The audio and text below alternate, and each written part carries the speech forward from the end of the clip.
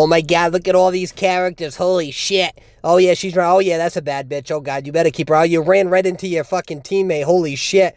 What a get! What a damn garbage bag! All right, magician ran away. Oh yeah, you stopped at the nearest fucking cipher. That was a smart move. Playing like a whole damn tier seven on NAEU server. Oh god, you get picked up. You're not even struggling. Look at you, you damn quitter. You're like a guy with loyalty tattooed on your forearm. All right, that looks like a grenade. Look at this person flying in for your rescue like a guy with a fedora saying he's a good guy. Oh shit, you're running away. How the fuck did you get a cord gun? You fucking cheater!